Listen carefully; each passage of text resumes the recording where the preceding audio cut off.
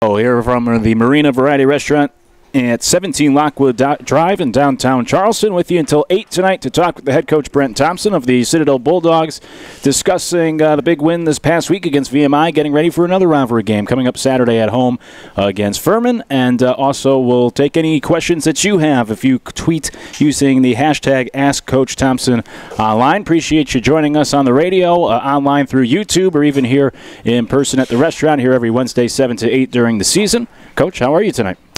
A lot better than I was last week, and a lot better than I was the week before that. So uh, we're doing uh, we're doing fairly well. We're uh, we're getting back on track, hopefully. Absolutely. And the Bulldogs coming off that 34 32 win Saturday on the road against VMI in the Military Classic of the South. 12th straight win against uh, VMI. And I talked to you earlier in the week. I asked you then, but you know, have you been able to, to calm down a bit since that win Saturday? It was a wild game. Yeah, you don't have a whole lot of time to even celebrate that one because it's a seven-hour trip home. Uh, we got in at about 1.30, and then uh, we certainly we're back at it on Sunday morning uh, at about 10.30, 11 o'clock. We get back into the office. So uh, it's a quick turnaround. It's a quick turnaround for our players, but um, it's certainly we've got to get done what we've got to get done, and we've got to prepare for Furman. It was a heck of a game to, to watch as a fan and certainly to broadcast for myself. And of, on top of it all, the Bulldogs come out with a victory. But that game in just 60 minutes had a little bit of everything. It certainly did. As it was an interesting ball game. There was a lot of uh, just some strange things that went on on both sides, something that you don't see all the time in football games. And uh, that happens with rivalry games, and that happens when you go on the road a little bit as well. Uh, they're going to put everything that they've got into it, and it's a fairly uh, kind of the way those, those games go with them up there at VMI. They're going to put everything they've got on the line and try to beat you, and uh, we've got to certainly uh, do our fair share to, in order just to win the game. And the Silver Shako uh, Trophy coming back to Charleston. It's been here since 2003. Now 12 straight wins in the rivalry. How did the trophy make its trip back to Charleston? Was it with you? No, I stuck it on the equipment truck. Uh, they have an extra seat. Is uh, there's not enough room sitting next to me right now, and I don't think uh, Mr. Andy Clausen would want it next to him. So it got passed on to the equipment truck. But certainly nice to bring that back here to campus and put it where it's been now for about 16 years. Yeah, we've got to get it uh, probably replated here soon, and uh, we'll probably get that done here here in the off season, and then uh, we've got to get the engraving done as well, and uh, add another year to that, and put that back on display for us. The win in a rivalry setting with the Military Classic of the South beating VMI, and then also the second win of the year with both wins coming in conference. So, just overall, how important of a victory was that for the players and the program? Well, I think it was. It's always an important win just to beat those guys because it is our rival and it is a, similar school, and there are some bragging rights in there, and uh, it is something that we've taken pride in the fact that we have had it for the last 12 years, and uh, it's something that uh, I think means a lot to everybody involved in the game. And it was one of those close victories, as mentioned, 34 32. Came down to essentially the final play of the game, quite literally. And uh, a game that, you know, throughout the early parts of the season, we've discussed it week to week that a lot of close losses where a couple of plays maybe didn't go your way and those could have changed the outcome. Well, here on Saturday, a close victory, and some of those plays did go your way. So I'm sure it's nice to see the Bulldogs pull out a win like that. Yeah, VMI's had a couple of those those games as well. They've had some pretty close games, and uh, we certainly have our, have had our fair share. It was nice to be on that side of it, uh, but you know we felt good about it. We felt good that we were um, the leading for most of the game. You know they were playing catch up. They we, they were in our spot where they were trying to come from behind, and to their credit, they never gave up. They had a great plan together, and they were able to score some touchdowns at the end to uh, to put it to a two point ball game. And then they went for that two point conversion, of course, to try to tie it in uh, the closing 90 seconds. Uh, they were unsuccessful, leading to the 34 32 victory. But just take us through that two point try because the Citadel, you and your players, able to come up with the big stop to pull off the win. Well, if you would have saw that, all we really wanted to do was we were sitting on a timeout, and uh, I was trying to get a timeout off. And I don't know if the crowds on both sides were so loud mm-hmm. that the mm-hmm. officials couldn't hear it, uh, but it was actually the second time that I tried to get a timeout. I couldn't get one off. Uh, if you remember in the first half when we kicked the field goal. We were running out of time. Uh, somehow we did get the snap off. We did kick it and we did make it. So good thing in both occasions. Uh, strange things that happened, and that's one of them. Is you're trying to get timeouts called. You don't know if you would have made the next kick or not, and then you don't know if the two point conversion was going to be uh, no good or not. You give them another chance mm-hmm. at the mm-hmm. two point conversion. So uh, both both cases were very interesting. I was just trying to get a timeout to see what the formation was going to be, and couldn't get one off. And overall, throughout the game, uh, some big plays made by specifically the defense, but also special teams. I mean, you forced three turnovers, and then on special teams, you have two blocks. You know, we saw a blocked punt earlier this year, but another one on Saturday, and the first blocked extra point in two years for the Bulldogs. So uh, factor that in with the three turnovers, some big plays made by your guys. And probably the game changer really. Mm-hmm. And uh, the special teams blocks were huge. Obviously, the uh, the blocked kick made him go for two twice, which is always difficult to get. Uh, the blocked field goal there, and then of course the the blocked punt gets us in uh, inside the red zone, inside the five yard line. We've got two or three plays to get the ball in the end zone, and uh, we were certainly able to do that. So that certainly helps. Um, we had one special teams mistake where we tried the uh, the trick kick, and mm-hmm. we're trying to kick pass we call it, and we're just trying to get get him on the edge and outflank him a little bit. We just juiced the kick a little bit too far out of bounds. I thought we had a good chance at it, and uh, trying to play aggressive when we're on the road like that. We want to make sure that we're playing aggressive aggressive and trying to get an extra possession out of the game. Uh, unfortunately, didn't go so well. We give them the ball at the 50 yard line. They go down and tie the game up. But, um, you know, we're able to recover from there. I was going to ask you about that because we saw it from both sides. I mean, the aggressive nature throughout that game, uh, a lot of fourth down plays, not a whole lot of punts. The kick, the two point conversions for VMI. At one point, of course, they needed to go for two, but uh, from both sides in a game like that, a whole lot of aggressive uh, play calling and coaching from you and your counterpart. You know, we, we, sat in here last week and we said, you know, we've sat back the last couple of years against them and just try to absorb everything that they've been taking and uh, that they've been given to us. They've been, you know, trick playing us and they've been doing all, all sorts of different trick kicks and everything, trying to fake punts so uh, this year we were going to be on the opposite end of it. We were going to go for blocks. We were going to uh, take some shots down the field. We were going to try the the you know the kick pass, and uh, just try to do everything that we could to, to, just be on the attack all the time and change our mentality going into the game because I never thought that we uh, approached that game the appro- the appropriate way. We never approached it as a true rivalry. We never approached it as hey we're going to be the aggressor in the game, uh, and that's what we were trying to do as a staff. All in all, even with that, that the kick didn't work out, but all in all, I thought an, another excellent day for special teams. Obviously the blocks and then Matt Campbell, the freshman punter who I've brought up a lot on this show throughout the season, uh, four punts Three of them put inside the opponent's 20. One of them was over 50 yards. He averaged about 45 yards per kick. He had another good Saturday. He certainly did. I mean, he's, he's a weapon, and we've been going for it on fourth down, but we, we could just as easily kick and try to play some field position as two with him. Uh, he's done a great job. And then the other kicker, Jacob Godek, had that first miss to start the year against Chattanooga, but since then, knock on wood, he's been perfect. Five straight makes. He's been a changed player really since that miss. He's whatever it was that was going on, he's fixed it.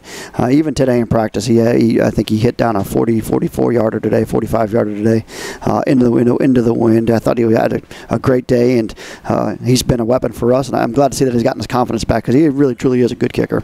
Yeah, have you noticed the biggest difference from last year to this season in the results? Has it just been something as simple as his confidence? I, I think so. And uh, you go back, I think he missed four or five in the VMI game last year, and uh, that was a little bit of a rough game for him. And ever since then, I think he's starting to battle his way back. Uh, I asked you earlier in the week, but I'll ask you again here for a different audience. What was more thrilling for you, the victory, the final seconds ticking off the clock, or getting picked up by uh, General Walters there when the, the game I was think over? Certainly getting picked up by General Walters because I knew um, one of the first things that he ever said to me when we met uh, way back in August. I think he was uh, strolling out onto the practice field one day, uh, caught us a little bit by surprise, and uh, I almost just about guaranteed him a victory against VMI. and then after I thought about what I said, I said, "Man, I just put myself out there like that." So I, I, think he's got some buddies that he worked with at the Pentagon that were that are VMI guys. So he wanted some bragging rights. So I knew that it was going to be an important ball game for him, which then made it a very important ball game for me. Uh, I had to back up what I was saying. and you certainly did. 34-32 victory Saturday against VMI, 12th straight win in this rivalry for the Bulldogs. And uh, we had him on the right before kickoff. He joined Jay on the sideline on our radio broadcast and certainly was fired up. But it was just a cool scene to not only see him there, but the freshmen in the stands and a lot of other members of that sideline in the decorated uniforms. A lot of support on Saturday for you and the team. I tell you what, is I didn't realize pregame that I, their their corps was out there. Our freshmen were out there. It was a really a neat picture that I did see there. So um, it, it, really puts everything into perspective about the game when you have both of the corps there. Uh, the support for the football game that's going on out there on both sides. It was Parents Weekend for them. Uh, they had one of the best crowds that I've ever seen there. Uh, we had a tremendous crowd with not only our, our, our freshmen there, but all of the, our, our, alumni that come out for that game. And uh, certainly we were very appreciative of Captain Peluso and what he's done because it's not an easy thing to uh, mobilize 400 people, put them up overnight, mm-hmm. feed them, get them up there, get them in the right uniform, get them to march on there, um, and and have them be as excited as they were because there was a lot of back and forth going on. Uh, I could hear it out of my open ear right there. I can hear the, the shouting that was going on back and forth, and uh, it really makes that game a special game. Uh, I would really love to have VMI come down and experience on our end. If, if we can ever get that done, that would be fantastic. Yeah, absolutely. My first experience in this rivalry, and it was a, a tremendous atmosphere Saturday uh, up in. Lexington, where the Bulldogs pulled off a win. Not only a sellout crowd, but you know there were fans outside of the stadium sitting on like a berm, just looking in, like almost Wrigley Field, trying to see from afar. Uh, a great atmosphere, and, and I guess that makes it an even better win for you because you went into a bit of a hostile environment and you pulled out the W. Yeah, we, we really enjoy those kind of environments. You know, uh, everywhere you go, it's fairly unique. You, know, you even go to like Florida State and those places, uh, mm-hmm. and getting tomahawk chopped on the way in. It's kind of neat. You know, they may not like it, but it's it, it's kind of neat to see. I guess we'll see what Alabama has then. No, yeah, no doubt. Yeah, we'll definitely see that. so uh, the win Saturday in the rivalry with VMI, and now another rivalry coming up here this Saturday against Furman, and we'll dive deeper into it throughout the show and the particular matchup on the field. But you know, no no rest for the weary here. You play one important game, and they're all important, of course. But you know, one rivalry game, and it leads right into another now Saturday at home. Yeah, this is a big one for us for a lot of reasons, and I told our players that just today is uh, we, we, certainly have got a lot to play for. Uh, we've certainly got a lot to play for, especially in this game, not just for the rivalry of it, but for a little bit of redemption, and uh, not necessarily anything that they did. It's just the the more uh, the way that we handled the game last year, we, we weren't pleased with. Uh, I certainly wasn't pleased with it, and uh, I don't think any of the players were either and we'll dive into that a little bit later as well. But has practice been any different this week? You know, you come off that dramatic victory against VMI, a big win. You bring the trophy back home. Now you have another rivalry against Furman. Are the guys any more fired up this week? Because uh, it's unique to have a week in between two rivalry games like this. Yeah, you know, we've. Uh, I thought Sunday was a good practice. We came back ready to work after a uh, a short turnaround, really coming off of a one o'clock getting in uh, from uh, from Saturday morning mm-hmm. or Sunday or Sunday morning. Uh, I thought that uh, we had a good good Sunday practice, had Monday off, and came back Tuesday ready to go, and uh, had two really spirited practices. Now we still got some work to do to clean up tomorrow, but uh, I think we're almost getting to the point where we're ready to play. Bulldogs back home this Saturday against Furman in a big rivalry game, uh, 2 o'clock kickoff at Johnson Hagood Stadium.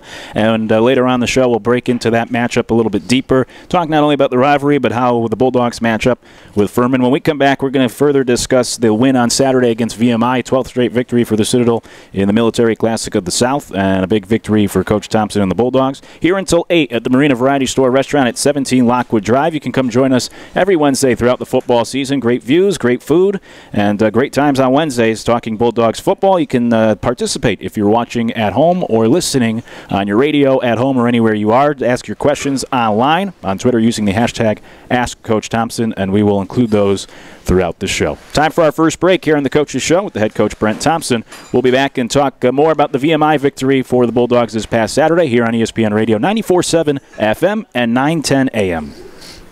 Bulldog fans, I'm Danielle Hensley, back this week for your Bulldog Breakdown. Men's cross country took 13th place at the Sand Shark Invitational last weekend. Colin Martin led the dogs for the fourth consecutive race with a 25th place overall finish. Sophomore Amber Opp paced the women for the fourth race in a row, finishing 25th overall, leading the team to a 14th place finish. This Saturday, both teams will be competing in the SoCon Championships in Cullowhee, North Carolina. The Bulldog football team is coming off of a 34-32 win against VMI last weekend. Jordan Black became the third Bulldog to have a 100-yard rushing performance by running for 155 yards and two touchdowns. This weekend, the Dogs are back at home for military appreciation, playing host to Furman at 2 p.m., presented by Apex. The mixed rifle team finished third behind fourth-ranked TCU and number 23 Georgia Southern Saturday afternoon. Senior Allison Otten led the way for the Bulldogs with an 11:38 aggregate score, the eighth best aggregate score on the day. They will face the Eagles once again this Saturday at Georgia Southern. After falling 3-0 to Western Carolina on Friday, women's soccer came back and beat ETSU 2-1 in double overtime on Sunday. With just five minutes left, sophomore Hannah Roth scored the game-winning goal off of an assist from Kessie Bradshaw. The Dogs will face number 8 seed Wofford College to fight to advance to the quarterfinals on Wednesday at 7 p.m. on the SoCon Digital Network. The Bulldog volleyball team is coming off of two 0-3 losses against Western Carolina and UNCG last week. This weekend, they will host Furman on Friday at 6 p.m. and Wofford on Saturday at 7 p.m. They will then take a break from conference play to host Savannah State on Tuesday, first serve at 6 p.m.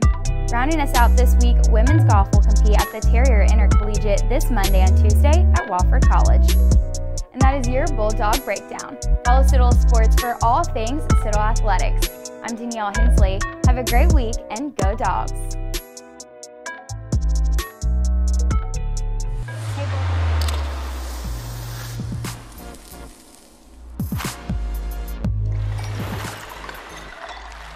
Pizza with Pepsi.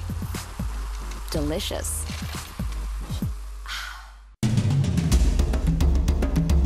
Style. Selection.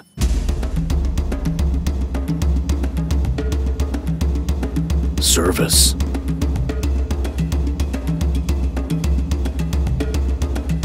Quality. Value. See what everyone is talking about. Ashley Furniture Home Store. TD Bank's new intern, Bart, is one of those robots from another bank. We're training him to bank human. Uh, uh, Bart, why are you winding the clock back? The clock stated 11:35 p.m., but they are still working. The clock is fine. Our live customer service is available all night and all day for that matter. He's learning. At TD Bank, we do things differently. Hello? Like live customer service. Hello? 24 7. Don't just bank, bank human. We build our communities. We earn our success. We, as South Carolinians, work best together. Don't follow your bank into the impersonal world of mergers. Make a change. Visit South Atlantic Bank to talk with local bankers who care about the Low Country. Our local headquarters will be ready next year on Johnny Dodds Boulevard. Until then, stop by our current location. You'll find a community bank with a proven track record of financial success. South Atlantic Bank, people you know and trust. This is the Pepsi for serious fans and serious eats. This is the Pepsi for Sundays at the ballpark and days off at your favorite pizza joint. Right, Aaron? Best slice in New York. Whatever you're craving, this is the Pepsi for you. Back on the Coaches Show with the head coach Brent Thompson of the Citadel Bulldogs here from the Marina Variety Store and Restaurant at 17 Lockwood Drive in downtown Charleston with you until 8 o'clock talking about uh, Citadel football, the big victory this past weekend at VMI and getting ready for uh, an equally as big contest upcoming on Saturday at home against Furman. Uh, for those uh, listening at home or um, watching on YouTube, you can participate, send your questions using the hashtag AskCoachThompson, and we'll get those on the air throughout the hour. Talking, uh, going back to the VMI game first. Before we get back into the VMI coach, uh, the VMI game, coach, I just wanted to uh, ask you about a, a, certain topic because the big talk in the NFL, at least this week, has been analytics in the NFL with the New York Giants going for two the other night against the Falcons, and it's been a whole drama. And you have the old school who are against the analytics, and the new school who are so based into numbers. Uh, working in minor league baseball, that's where analytics was really big, and now it's kind of crept into football, it seems, of late. My question being, for the Citadel and for you, how much do you use analytics, if at all, in your preparation or your game plans uh, week to week? We use quite a bit on defense.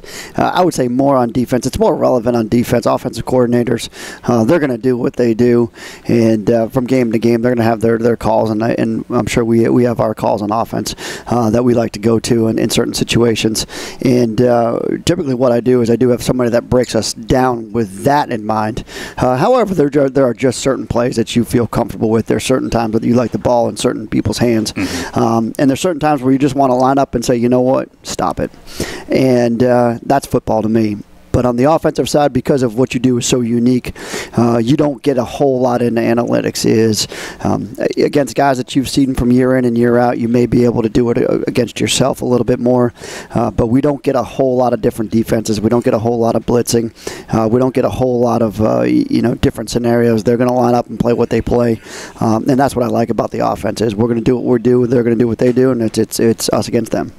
So let's get back into that game against uh, VMI with the win on Saturday, 34-32, uh, beating VMI in the latest edition of the Military Classic of the South. 74th meeting between these two programs. First met all the way back in 1920, and on Saturday the win, and it was a matchup where uh, both teams really did what we were expecting. You know, to quote Dennis Green, they are who we thought they were. You know, VMI came out, they threw it place. You That's guys right. came out, you kept it on the ground, and so I guess from that perspective, maybe no surprises there on how the two teams handled it offensively. No, you know, I, I thought the game played out exactly the way you thought it was going to play out.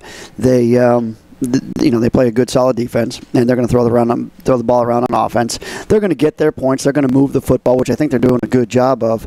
They found a rhythm. They found a, an offense that works for them, and uh, very similar to a Samford, like we talked about. It, it's a dink and dunk kind of an offense. They're going to uh, short short passes, short passes, and then they're going to take their shots down the field. And uh, what happens is if you just miss a miss a guy in open space, he can go, and uh, that happened to us a couple times.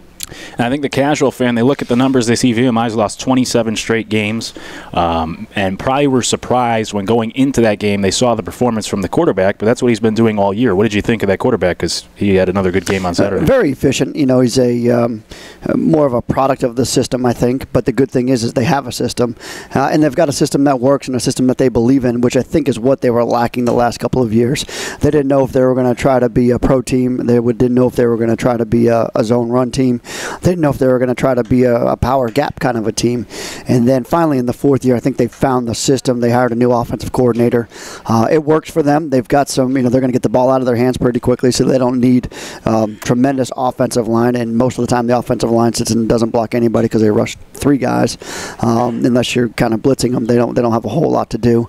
Uh, and then they're going to get the uh, the wide receivers, and they're going to find ways to get different guys open, and they know where their reads are, and you got to cover the field. Yeah, you kind of touched on it. Their, their objectives seem to be get guys in open space and make you have to you know, come up and make a tackle. How do you think your defense handled those open field tackles and all the quick passes to the receivers? You know, I thought we handled them overall very well in the first half. Mm-hmm. Uh, the second half is when they started to push the ball down the field, and they felt like they uh, needed to get big plays. They got big plays. They got one at the end of the uh, at the end of the first half there, where they were they got us in space and they were able to do that, and uh, and then they got one, of course, that, that scored to tie the game. Oh, give them a chance to tie the game up. We're missing just open field tackles, and that's what it comes down to. We overrun it. We don't break down. We don't. We don't run through our tackles right there. Uh, we're in spots. You know, we're in the right. We're going in the right direction. It just we were able to get the guys on the ground and even though a lot of quick throws throughout the game, it seems like uh, the Bulldogs were able to get some good pressure on that quarterback throughout for, for the most part. We did. We, have got a few sacks, which was nice. We've got some you know tackles tackles for loss. We've got some. Uh, the thing you got to be careful against those guys is, of course, getting the ball out of his hands quickly, but also the screen game. That was one thing that was concerning on the sideline. Is you know if we do pressure here, uh, is there a chance they throw the screen? And, and, you know when the screen goes against the pressure, it's it's tough. And you know, last couple of weeks defensively, it seems like a different guy stepping up and somebody doing some things that we haven't seen from them before. In this past week, I would say maybe that was Mason Kinsey who had uh, his first two sacks on Saturday and made a couple of nice plays in the backfield. You know, he's great again. He's, he's one of our best pass rushers, and he's only a freshman, which is nice. He's come along. He's been developing. He's uh, uh, uh we were just talking. I was just talking to Coach Harrell about him today on our run, and he was uh, he's definitely a bright spot. He's been uh, a surprise to us. The fact that he can pick it up and handle it. he's kind of what you get out of Texas, a very polished football player. Um, he put a lot of weight on in the offseason, and I think he's put himself in shape to be able to play in a uh, in a college football game for a season. Let's transi- transition to the offensive side of things. You know, Jordan Black only threw it seven times, but he was your leading rusher. He had a career-long 71-yard touchdown run. He had about 150 yards overall on the ground. Uh, he had a pretty good day with with the ball in his hands. It seems. Yeah, aside from the one turnover, mm-hmm. I think that was in well, excuse me, two turnovers. He fumbled the one and threw the interception on the other one. Uh, I thought he had a pretty good day. He managed the offense fairly well. We gave him a few uh, adjustments to make in the second half, and he did that extremely well. But uh, you know, there was a couple things that we started off the game throwing the ball, and kind of that was part of the plan. We were trying to see exactly what they were going to give us because they don't give you the same defense year in and year out. They're going to give you some similar structure, but they're going to play it just a little bit differently until we can figure it out. Uh, we've got to put the ball in the air a little bit. And We've got to figure it out and kind of move the ball down the field, which the first drive went about the way it was planned to. Mm-hmm. And uh, we were completing balls. And uh, even the second drive, I thought we were doing a good job. We just dropped a couple of passes there that were uh, a little bit concerning. Once you drop a couple, you, you start to get into your uh, into your game plan mode of what you want to really do and run the football and try to you know hunt around and find out where you're going to be able to run the ball for the rest of the day. Yeah, the one mistake in the passing game that you mentioned was the interception late in the second quarter. Uh, just take us through that play and maybe what, what went wrong there. Well, we had about 16 seconds left in the half, and uh, it was going along with a lot what we were talking about early mm-hmm. on, and that was we were going to be aggressive in right. the game. Uh, we were going to take our shot down the field, try to get out of bounds. We had a couple of timeouts left, try to get ourselves in the field goal range and see if we can't catch them slipping or sleeping on a uh, on a particular route. Uh, the plan was was for the route was going to be a wheel ball down the sideline, and uh, we were going to just kind of put it to the put it out of bounds, or just kind of put you know see if he's wide open over there. Uh, just slightly underthrew it. We had a chance to get him open there if we threw it downfield a little bit more. We had a chance to throw him open. Uh, underthrew it picks it, and unfortunately, we got to make a tackle there, and, and, we gave them an opportunity to kick the field goal. Uh, on our side of things, it was nice that they didn't have any timeouts left, so they couldn't take a shot at the end zone necessarily, or it would be a long shot. So it was a long field goal. Uh, we ended up out of there with zero points given up, which was uh, a relief to us, of course.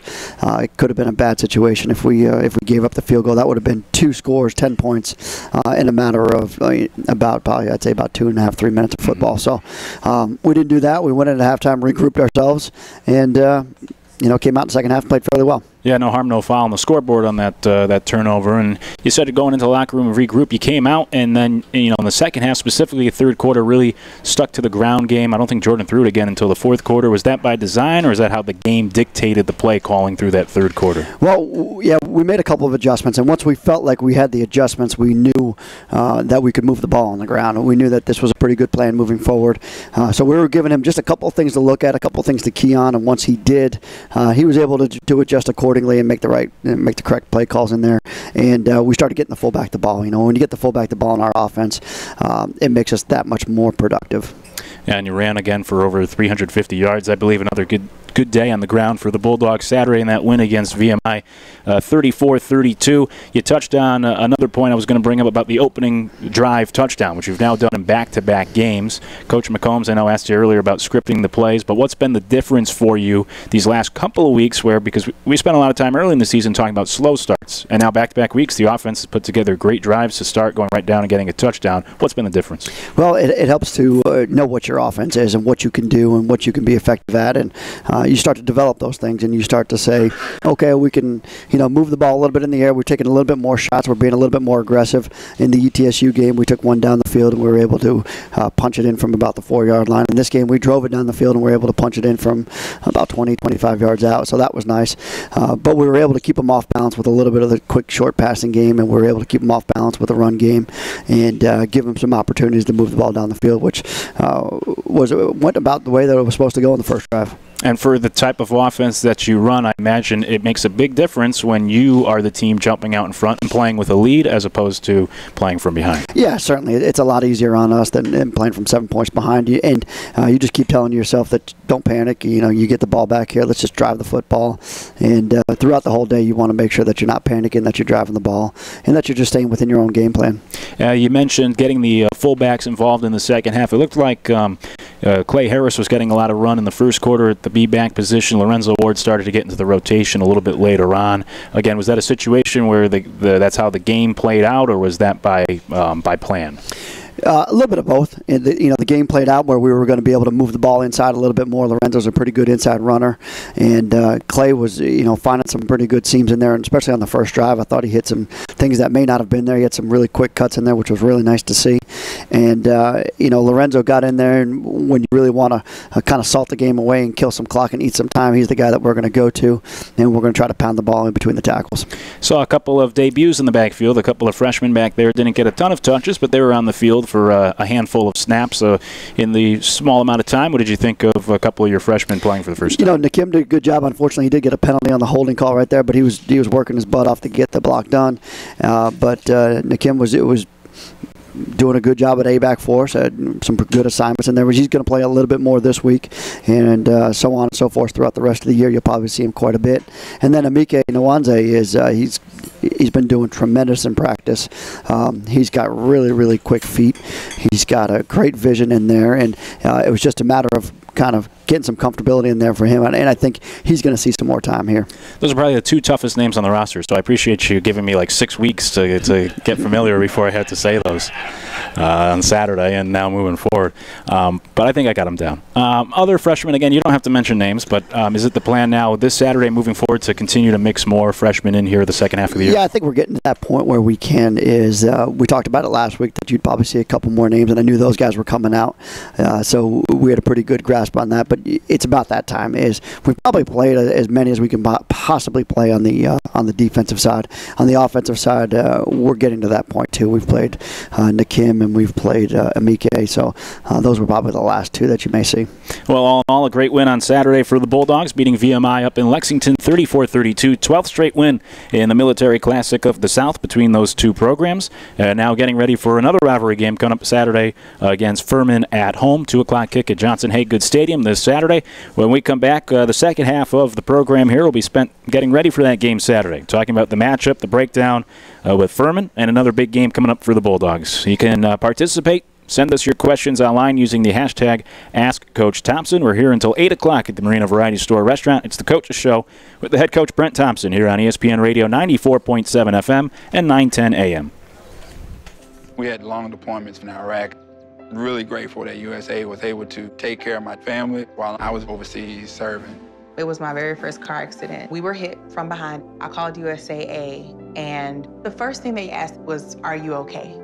They always thank you for your service, which is nice because as a spouse, you serve too. We're the Hells and we're USA members for life. See how much you could save with USAA by bundling your auto and home insurance. Get a quote today.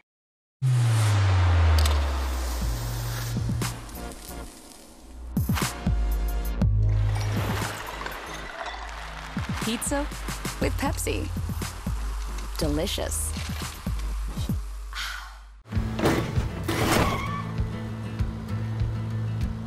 Sorry, Dad. Sure, you could get him a new car. You could also light a pile of money on fire. Because as long as Mr. It wasn't my fault takes the wheel on occasion, maintaining this car is your best option. So keep it running longer, stronger, with quality parts and a whole lot of Napa know-how. Dad, where you going?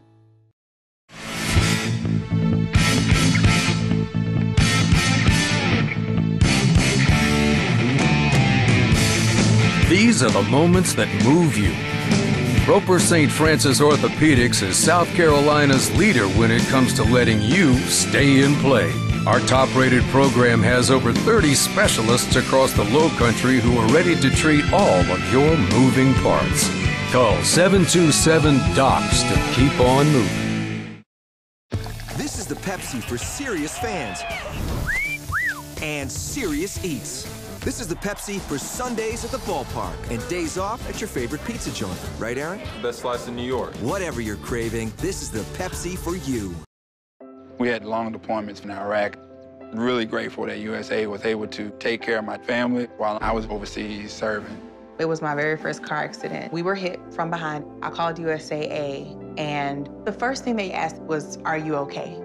They always thank you for your service, which is nice because as a spouse, you serve too. We're the Hells and we're USA members for life. See how much you could save with USAA by bundling your auto and home insurance. Get a quote today.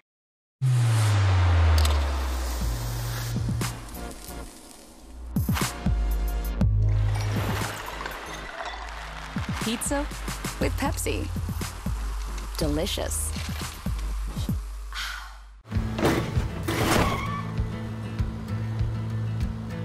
Sorry, Dad. Sure, you could get him a new car. You could also light a pile of money on fire.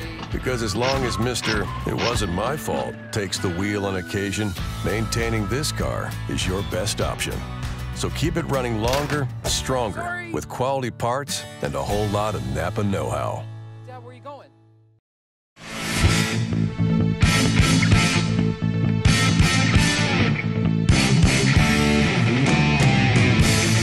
These are the moments that move you.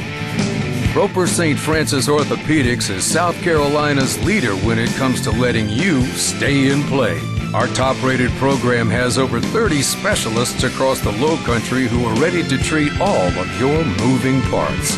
Call 727 DOCS to keep on moving. This is the Pepsi for serious fans and serious eats. This is the Pepsi for Sundays at the ballpark and days off at your favorite pizza joint. Right, Aaron? Best slice in New York. Whatever you're craving, this is the Pepsi for you.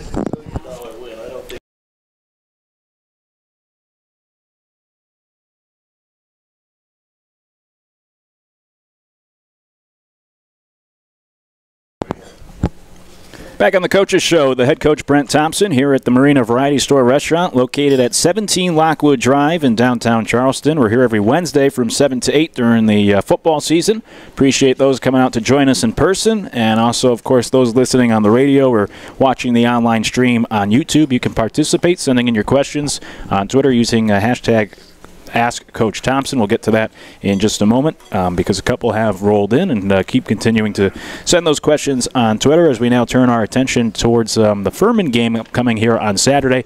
2 o'clock kick from Johnson Hagood Stadium, and so uh, coverage will begin at noon locally on 1021 FM, 921 FM, and 1450 AM here in Charleston if you can't make it to the game or if you're uh, looking for something to listen to while you're outside tailgating or inside Johnson Hagood Stadium for kickoff at 2 o'clock on Saturday. Coach, let's talk about the game coming up um, Saturday with Furman.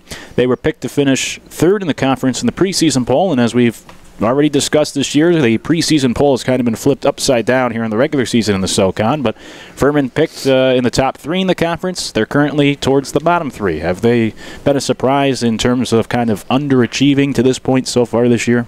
Well, certainly compared to where they were last year. I thought they had a great year last year. He did a good job with what there. And uh, like any other football team, is they were senior laden. They had uh, a really good running back. They had a great quarterback that was there for four years. Um, maybe not built for the system, but was very adequate for that system. And then they had a, a center that was the Jacobs Blocking Trophy winner. So on the offensive side alone, I thought they had some really good players. Uh, defensively, I think they've gotten better since last year. They were very adequate on defense last year, but this year a lot better than they were. So. Um, a little bit of a surprise, but yet when you're having to play some different guys in key positions like running back, quarterback, and some offensive linemen, uh, that can be very challenging. They lost a tight end that was a good player, so um, you know that's why preseason polls don't mean a whole heck of a lot. Is uh, there certainly are um, things that you don't know that go on within a program uh, over the course of the summertime, which it's it's going to affect you no matter what.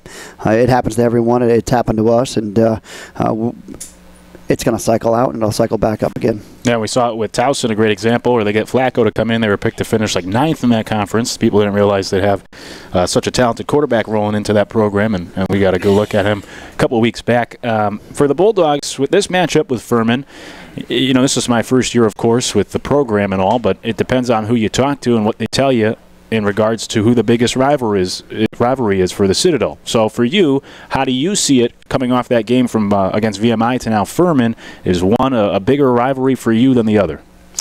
Yeah, it's interesting because uh, this one has kind of crept up on me a little bit. It's, it's kind of stuck in me a little bit. Uh, going back to last year, I think after last year, I, I could see it a little bit more, mm-hmm. and uh, just a little bit of different atmosphere around this game than there was the last year's game or the year before that against Furman. So uh, yeah, we're starting to feel that a little bit, and it's getting into that Wofford territory for me. Um, you know, you're so close. It's the, it's a back and forth with these guys, uh, but with uh, with Furman, is it it's it's a little bit of redemption right now. When you first uh, got here to the school, because now it's uh, it's been a few years, was it not until last season that you realized that there is a bit of a rivalry aspect between the Citadel and Furman, or was that something that first season you kind of realized? You know, when we first got here, we heard about it, mm-hmm. and uh, we had a couple of key wins. I think our first year we beat Furman there, and uh, we had a couple of key wins, and you start to put that out of your mind, and you start to move on to the other ones, and that's where you, you know you start game planning Wofford because those are the guys you hadn't beaten in 16 years, right. and uh, so you get that win underneath your belt, and, and now you're starting to feel good about that one, and then uh, you win two consecutive games against Wofford, and you're starting to feel good about that one. And then things start to flip over. Uh, it's just a matter of really what the uh, you know what the previous year was like, what the previous couple years, what the previous games were like. Mm-hmm. Um, that start to you know as a coach, as a competitor inside of you, that's when they start to build as rivalries for you. Looking at this matchup with Furman, uh, when perusing the coaching staff, I know they have a couple coaches from Air Force, which you know they run a similar type of offense um, to, to you guys, I would imagine.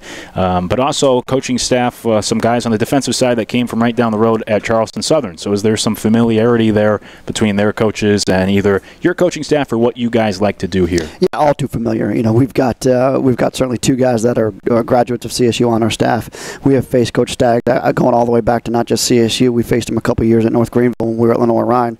Uh, I've seen him uh, probably at least um, of my nine years down here. I've probably seen him at least six or seven times. Uh, does a great job. Knows what he's doing there. is a heck of a football coach. Always has the defense ready to go, and it's very challenging for us. Uh, and really, what it comes down to for us is we've got to win man-to-man matchups. Uh, we've got to be able to say, hey, uh, there's going to be times where we're just going to be mono a mono. We got to win those matchups in order to win. In just general uh, terms here, when coaches are familiar with each other like that on opposite sides of the football, offense to defense, is there any sort of advantage to one side? Is it uh, a level playing field because you're both familiar with one another? How does that work? Yeah, fairly level, I, would say. Is there, um, you know, kind of we know what we're getting out of him. He knows what we're getting out of us, which is kind of nice. I mean, shoot, we're going to line down and play this thing, and uh, really whoever makes the most plays is going to be able to win the football game. And that's what I've been telling our players is uh, if we can go out and make some plays, we'll have a chance here. But um, it's going to be very difficult. It's going to be very difficult on offense to move the football, and uh, we've got to be on our game, and we've got to be technicians in what we're doing, just as they are uh, pretty technical in what they do.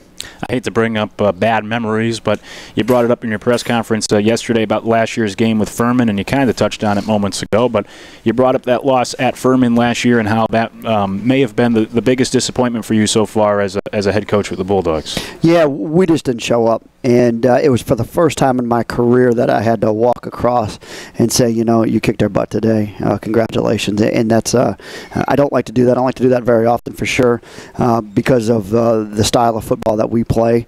And uh, when you're not the more physical team out there and you've got to go across the field and admit that, I can, you know, that's, that's a tough day for me. Looking at Furman and uh, the roster, the numbers, it looks like their starting quarterback was um, injured this past Saturday. They used three different quarterbacks in that game. They've used a couple of different guys. Do you have any sort of report on what to expect from Furman at the quarterback position come Saturday? No, we don't believe anything out there. We're going to prepare for all three of them, and uh, all three of them do something different very well. Uh, one's a great game manager, and he's going to throw the ball extremely well. Uh, the next one's a little bit more dynamic with his feet, uh, maybe not as great of a thrower there. Uh, and then the third one's a little bit of combination of both, throws a little bit better, runs fairly well, manages the game okay. Uh, so it's it's going to be a crapshoot, and we're not going to find out until two o'clock on Saturday what it's going to look like. Does that present any sort of challenges for a defense to have to get ready for maybe three quarterbacks in one week? Uh, yeah, absolutely. Is uh, you've got to prepare for it all because you don't know what you're going to get. Uh, the one thing that you they're going to be good in the run game. Uh, Coach Coach Hendrix is a, is an offensive line guy, knows what he's doing. They're very fundamental on the offensive line, so you know they're going to try to run the football. But uh, the harder thing to defend with them is probably the pass game, being that they can find open receivers. Uh, they're going to get you playing one thing and overplaying one thing, and uh, find out where your support is, and they're going to catch you in a play action game with your eyes in the wrong spot. I believe behind their starting quarterback, the other two backups who both played on Saturday, or at least I've gotten in this year. They're both uh, freshmen, I believe, for Furman. One's a redshirt freshman, the other one's a true freshman. Uh, the redshirt freshman is actually uh, Jordan Black's cousin from Ware Oh, County wow. in Georgia, and then the other young man is from right up the road here in uh, Myrtle Beach area. So was he able to provide any sort of scouting report? No, I don't think so. I don't think he knows it well enough. That's fascinating. Uh, so we'll see which quarterback is up under center Saturday at two o'clock for uh, Furman. But you know, looking at the numbers, regardless of which quarterback they've had out there, they do seem to run the football a lot. They've only thrown it, I think, on average 15 times a game, so a little bit more than you guys. But um, they certainly like to run the football, and they run it for more than 200 yards a game. So you know, is this a team that? Offensively, they're kind of run first, or are they balanced? Yeah, they're definitely a run first team. That's what he wants to do. Uh, he wants to be a run oriented team. He's very a very lot like us, like us. He's like myself. Um, he wants to be a pounded out, grounded out kind of a team, and uh, that's what was successful for him last year. They were extremely uh, uh, successful at running the football. Had some good running backs. Had a great offensive line last year. Well coached football team. But it, it's the it's the big play pass game that'll watch out and that'll, that'll sneak up and get you. They'll churn out some yards on the ground game, but it's the big play pass game that what you got to watch out for. And uh, you, you already kind of touched on it, but it seems like a lot of that is built off of play action because of how much they use the run. And so uh, play action it seems to be a big part of that offense, um, which as a defense, I guess, you have to make sure that you stay uh, stay on your toes and, and don't get fooled. Huh? Yeah, you're defending the run. They've got play action off of everything: uh, the power game, the draw game, uh, the lead draw. You know, they've got the boot game off of it. They've got the uh, the zone off the boot and uh, triple play action. They've got it all. I mean, we think we've got a lot of play action in. They, they, they probably double ours right now. And they, when looking at the numbers, they have two receivers wide receivers that have more than six catches, but they get a lot of different guys involved, whether it's the multiple running backs that they use, they have a couple of tight ends that they throw the football to. Uh, is that challenging for a defense to not only have to account for a lot of different guys, but when those guys are coming out of the backfield or off the line of scrimmage? Yeah, they, they take a they take a similar approach to their personnel as we do. They have tight ends and wide receivers and A backs and slot backs and those kind of things, uh, and they're all interchangeable for those guys. And he mixes them around. And uh, after many years of watching Air Force, I, I could see where he gets it from. Air Force has done a lot of that as well, uh, just changing up their personnel and just doing some things differently. Uh, and when you have a tendency to play in the league over and over again, like Air Force does and like we do, uh, you have a tendency to start to do that, try to look for different things to do against the league opponents all the time. Talking with the head coach, Brent Thompson, here of the Citadel Bulldogs on the Coaches Show. We have one more segment to go. We'll continue to dive deep into the matchup on Saturday with Furman for the Bulldogs as they strive for back to back conference victories. Uh, you can participate. We'll get to your questions next segment. Use hashtag uh, AskCoachThompson on Twitter, and we'll get to those when we come back here until 8 o'clock at the Marina Variety Store Restaurant at 17 Lockwood Drive. And when we come back, we'll wrap up uh, tonight's show by continuing to break down Saturday's game with Furman here at home for the Citadel. It's the Coaches Show with head coach Brent Thompson here on ESPN Radio, 94.7 FM and 910 AM.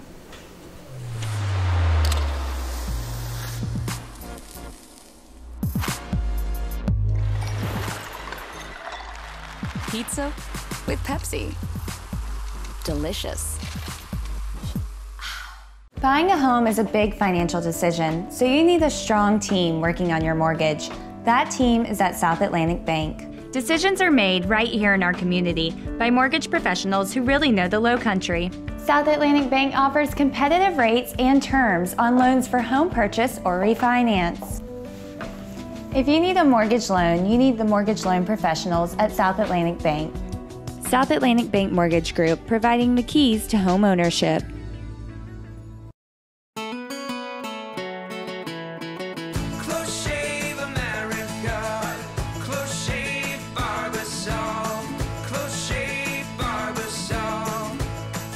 Try new Barbasol razors.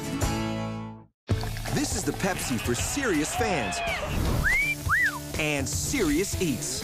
This is the Pepsi for Sundays at the ballpark and days off at your favorite pizza joint. Right, Aaron? The best slice in New York. Whatever you're craving, this is the Pepsi for you. What does first alert weather mean? It means you're connected. To the here, to the now. To big changes before they happen.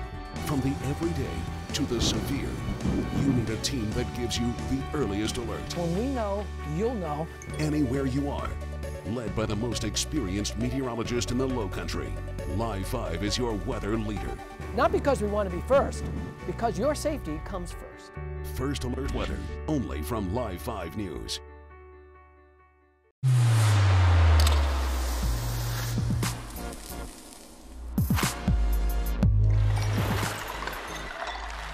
Pizza with Pepsi. Delicious.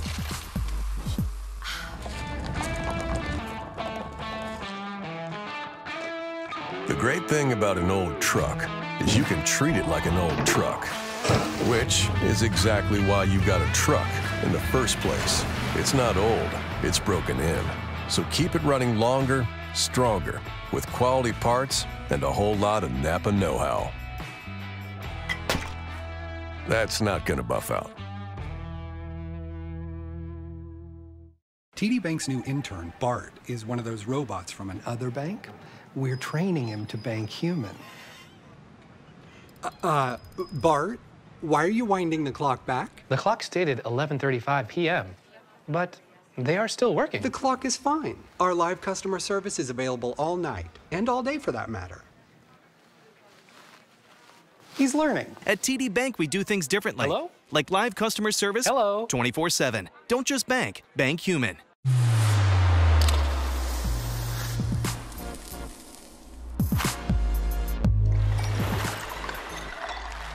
Pizza with Pepsi. Delicious.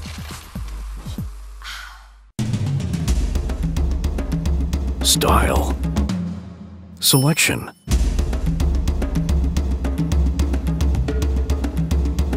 Service.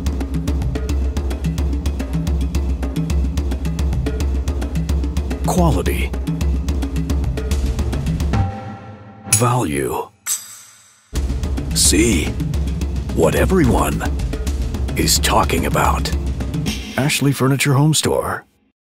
This is the Pepsi for serious fans and serious eats. This is the Pepsi for Sundays at the ballpark and days off at your favorite pizza joint. Right, Aaron? Best slice in New York. Whatever you're craving, this is the Pepsi for you. Buying a home is a big financial decision, so you need a strong team working on your mortgage.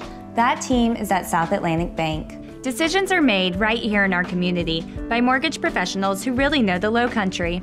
South Atlantic Bank offers 17 Lockwood Drive in downtown Charleston. And you can still uh, send us questions online using the hashtag AskCoachThompson. We'll get them in here in the final segment before we wrap things up at the top of the hour and get ready for kickoff Saturday against Furman.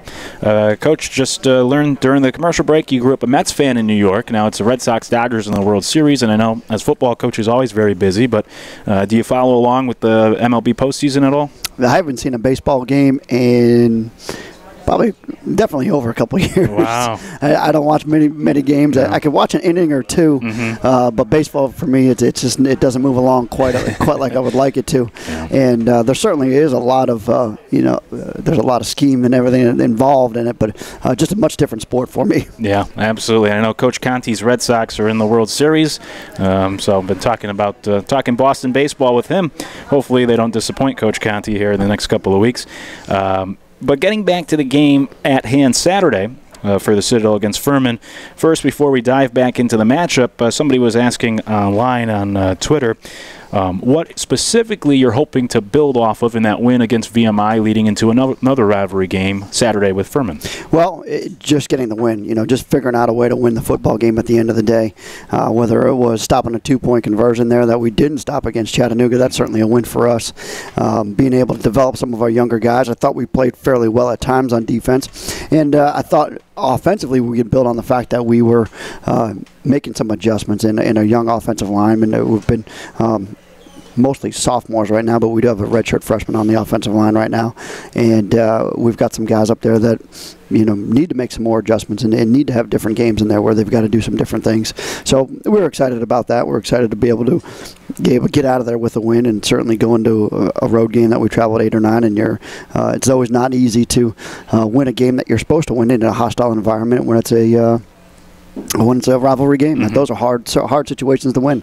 Absolutely. I meant to ask you earlier when we were talking about freshmen getting more involved and such. Of course, there's the rule that they can play four games, get the year back, and we've talked about that before. But let me ask you maybe a dumb question. Um, how is that kept track of? Is that uh, the coaches are kind of like an honest system? Well, a little bit of both is uh, if you ever get called out on it, you don't, you don't want to get called out on it. You'd be playing an inel- ineligible player for one. Uh, so we've got a running tally on who's played what, and who's played it where. Um, John Brush, our uh, our media guy, he takes care of a lot of that as well. He does a participation report that is kept track of, and uh, sometimes those things can be wrong. So we've got to make sure that they're accurate as football coaches. Uh, just it's just keyboarding in a wrong number will will, code a kid in that may not have ever played before. Uh, so we try to go through those every year at the end of the year and fix whatever we don't. Uh, but if you're, you know obviously if there's a guy on film, everything's filmed, and we've got a bunch of different angles on it between ESPN and, and our feed. Uh, that if it ever was to come back, you you certainly would know. I'm just curious about that uh, aspect of the situation now that, as we talked earlier, some freshmen may be getting more playing time here the rest of the way and uh, still have the opportunity to get the year back. Uh, this game with Furman on Saturday, looking at uh, this matchup, well, it's part of Hall of Fame weekend. We have a Hall of Fame dinner Friday night, which um, I'll be at uh, emceeing at the, the hotel down the road. But um, you know, I, I think when I talked to you earlier in the week, I, I accidentally said it was homecoming weekend. It's Hall of Fame weekend, but does that mean anything different for the the football team Saturday to have you know some of the older players come back, watch the team? Does it add anything to the game Saturday? It's always good to see them. It's always good to have a little bit of that environment out there. Is uh, it's certainly neat to watch. Is uh, when it gets down to about Friday though, we, we kind of cut it all out and we go off campus and we just uh, try to stay as far away from everything as possible and try to focus as best we can. Looking at Furman, uh, they're coming off a loss against Samford, but they had the special teams player of the week. Their field goal kicker had three field goals um, of over 50 yards in that game Saturday. He's missed a few extra points this year, so maybe not entirely accurate, but uh, certainly a strong arm or strong leg, I should say. As a coach, you know, I don't know what you can do maybe to defend his uh, strong uh, kicking foot, but but that seems to be quite a weapon for them to be able to kick about 55-yard field goals. Yeah, you know, we thought we had a chance to have the special teams player of the week. We had a block, and uh, Sean Thomas Faulkner had a, not only the block, but he had the recovery on the next one. Uh, but then when I saw what he did, and, and he had three field goals that were pretty good distance there, uh, certainly was well deserving of it. He is a tremendous weapon for them, not only in the uh, in the PATs and not only in the field goals, but also as the uh, as the kickoff guy. He does a good job of placing the kickoffs.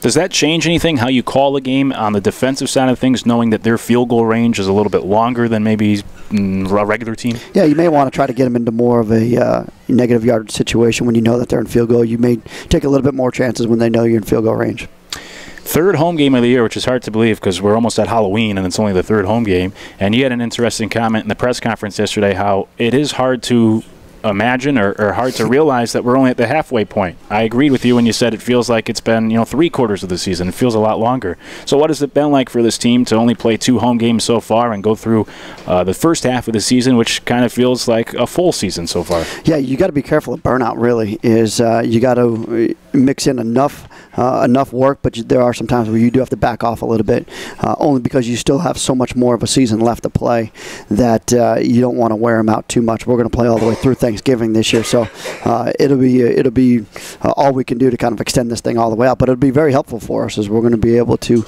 uh, get some more practices in and, and do a little bit more than we have in the past. Yeah, hard to believe there's still five games left on the schedule, and so an opportunity for the Bulldogs to finish the year uh, over 500 and get a couple more wins here in conference play with just the third home game coming up on Saturday. So hopefully everyone can come out and join us because they haven't had many opportunities to cheer uh, at Johnson Hagood Stadium here in 2018 so far. Uh, how's the health of the team heading into this game with Furman? We're fairly healthy. We are, you know, we've got a couple of guys that are working their way back from, uh, you know, ankles and knees a little bit, but uh, I think a couple of them should be able to play through it. Uh, we'll certainly be missing still about two or three guys. Winding down the final uh, minutes here of tonight's program, getting ready for the game Saturday with Furman for the Bulldogs. 2 o'clock kickoff. Coverage will begin at noon on the radio locally. What are some keys to the game for, for you and your Bulldogs to get out of there with uh, a second straight rivalry victory? Eye discipline on defense. We've got to uh, watch the big play action pass. Our safeties and corners have got to get their eyes in the right spot. We can't uh, we can't get fooled. We can't get crossed up over there. We're going to uh, do our fair share of supporting out of our secondary, but we've got to make sure that uh, we're on the right keys and we're on the right guys. Uh, let our front guys handle the run and, and make sure that we stop the run. As if we stop the run, I think we'll have a pretty good chance in the day. Uh, however, on defense is uh, obviously on the offensive side on their defense. Uh, like I told you, we've got to win one-on-one matchups. Is there's no two ways around this thing. Is we've gone against Coach Staggs and these guys. Um, we've made our fair share of mistakes. We can't make mistakes against them. They get compounded against him. Um, he knows what he's doing right there. Is sometimes you just got to line up and play football and uh, just trying to drive the football and move it. It may be one of those days where you're just doing all that you can do to get three and a half, four yards of drive. Got about 90 seconds left with you here tonight. Um, when we talked last week, you know, we know the season didn't get off to the start you were looking for, but a win this past Saturday against VMI, if you get a win Saturday against Furman, not only for the record with a, a better record, a three and four record, but also the wins against those certain programs. Does that help get things rolling here in Certainly, it, it, it goes a long way. It goes a long way for the rest of the season as well. It'll go a long way in the, into the off season right now, but um, and just making us feel better about you know certainly last year and about the last couple of weeks. I'm sure the, the guys are excited to get back out. As we said, only the third home game. I'm sure they're looking forward to playing in front of the home crowd again. Well, I know I am, and uh, you know you take a look at these guys. I think they've played five of seven on at home, Mm-hmm. uh, so they've got a back end stretch where they're going to be on the road a little bit more. Uh, we've kind of staggered these things quite, you know, spread out quite a bit. Uh, these home games, and we're spreading them out a little bit further beyond Thanksgiving this year. So uh, that's what makes it feel a little bit longer is when you're going on the road every other week, uh, and you haven't had easy trips, trips to Towson and trips to VMI uh, sprinkled in there, and a four and a half hour trip to Mercer doesn't uh, doesn't help either. So uh, we're looking forward to getting back home. We're looking forward to getting some easier trips down the road. Absolutely, and it's been this rotation now, one home, one on the road for the second half of the season, which uh, certainly helps.